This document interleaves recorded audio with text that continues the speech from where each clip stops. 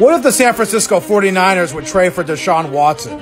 What would that look like? And what would the consequences be? Well, I got the answer for you. San Francisco holds the 12th overall pick right now. They would have to trade that to Houston. Well, what else do they have? They have Jimmy Garoppolo. And who is sitting right now at the 15th overall pick? That's right, the New England Patriots. Do you think Bill Belichick doesn't want Jimmy Garoppolo back and pay up his first round pick? Well, here's what would happen. I think both picks would need to go to Houston. So they would trade Jimmy Garoppolo to the Patriots, and then Houston would get both the 12th and 15th overall pick.